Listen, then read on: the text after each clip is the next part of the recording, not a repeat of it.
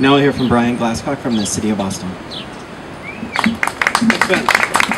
Uh, I'm Bryan Glascock. I'm the Commissioner of Environment for the City of Boston. And uh, let me just start off very quickly by saying that uh, National Wildlife and uh, Environment Massachusetts, among many others, uh, really have to be uh, commended for uh, 600, what is it now, 39,000 of anything something, but to, to get 639,000 signatures uh, is, is an amazing uh, feat, and you should all be very proud and, and take comfort in the fact that there's a, a groundswell of support for this kind of regulation now. Um, Boston is downwind of virtually everywhere else in the country.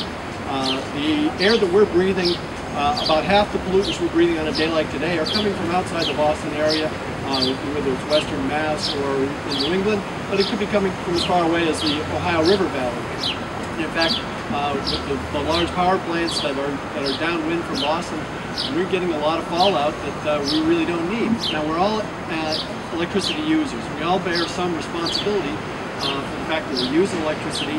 Uh, has to be generated someplace, but uh, pretty clearly the technology is there. the political will is there, thanks to our, our, EPA leadership in Washington and here in Region 1, as well as on the state level. Uh, and clearly with all those signatures, uh, the groundswell uh, is, here to push for tighter regulations. So I, I, I think keep us all standing out here in the sun too much longer, but you all should be very, very pleased with your, with your efforts.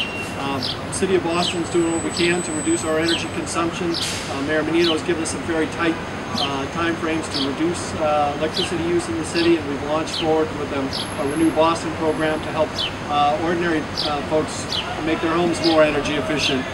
But uh, that's not enough. Uh, we're going to need tighter regulation on emissions of air toxics, and we appreciate the leadership on the EPA level. Um, one last thing, I'm going fishing a little later this summer, and every time I apply for my fishing license, they give you a little warning, and the warning says eating the fish may be hazardous to health.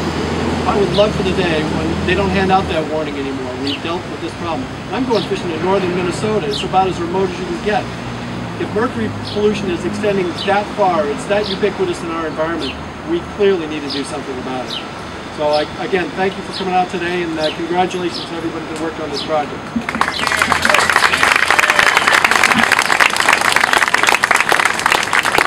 Okay, and now our final speaker is EPA Region 1 Administrator Curt Spalding, and I am also going to hand him, in here we have a letter that's signed from over 200 groups from across the country, which we will ask him to deliver to Lisa Jackson, in addition to the 639,000 comments that we will also be delivering. So here yeah. is Administrator Curt Spalding.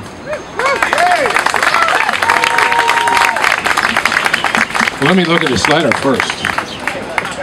Very impressive, everybody. I know how, how, much work it goes into doing this kind of work and rounding up 630,000 comments and letters like this. As some of you may know, before I became regional administrator of uh, EPA, I was the executive director of Save the Bay, so I know how hard you've all worked to make this happen at a grassroots level.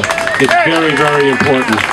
And I want to thank you for your work. I also want to acknowledge the leaders that are here. My good friend Don Hooper from the National Wildlife Federation, Juan who just spoke, uh, of course Ben who, who, just spoke, and of course Bryan. Congratulations on this effort.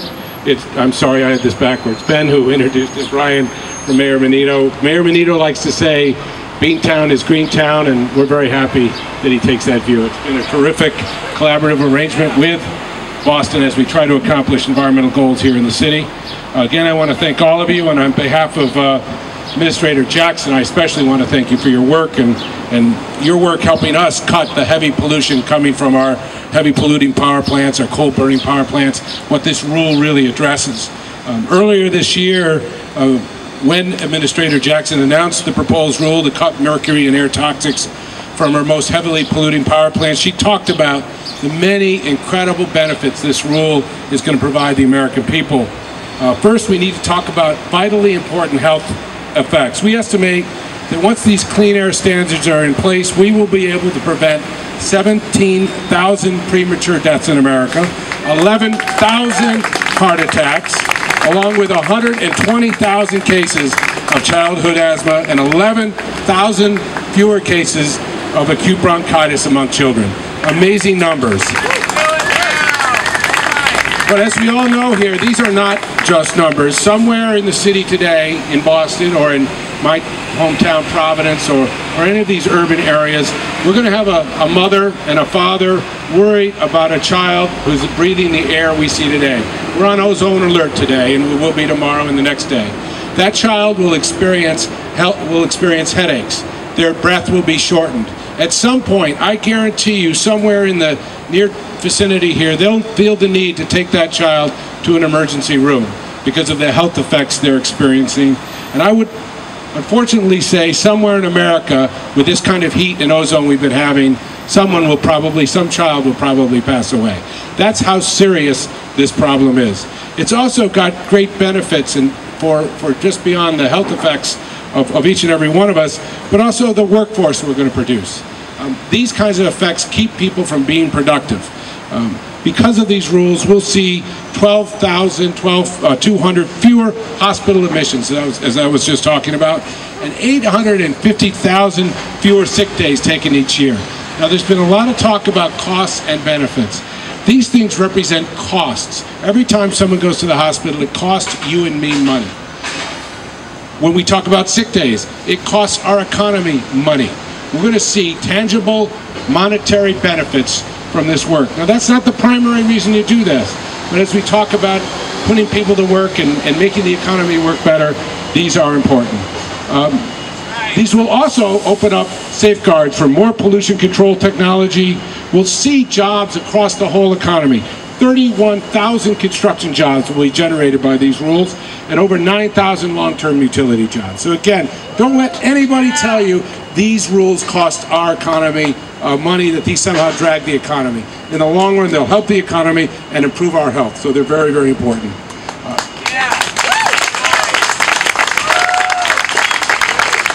know, something else the administrator spoke about the day she, she announced these rules was the cleaner air will help all of us and, and public health advocates, environmentalists, parents, even industry. Um, we've received support from everyone on this. There is a small group of people out there and small group of entities who are, who are challenging these rules. But these are widely supported everywhere. Finish up very quickly here. Um, so I want you to know that everybody supports these rules. It isn't something that is just supported by Administrator Jackson and, and uh, a small group of people. Uh, this is a widely supported rule. In Washington, we face a tough political climate. I don't know if you've been looking at the news. I think at some point we all probably just want to turn it off because it's just so depressing at some point. But this, there's a great choice before us in America, and we're, we're making that choice about clean air and good jobs for American people. And we thank you for weighing in on our behalf. Those 600,000 plus comments will mean a lot to everyone, plus this letter will mean a lot as we go forward and press forward on these rules.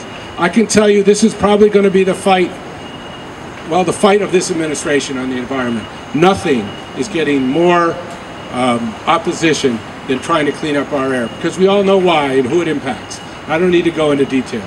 But this is, a, this is about the people fighting for the right thing. You're weighing in, we appreciate it, and we want you to stick with it because it's not over today. It's going to go on for months and months.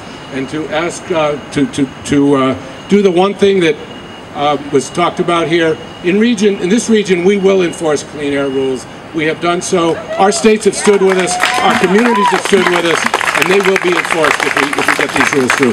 So I thank you all very much, and, and good luck with future efforts on this whole endeavor.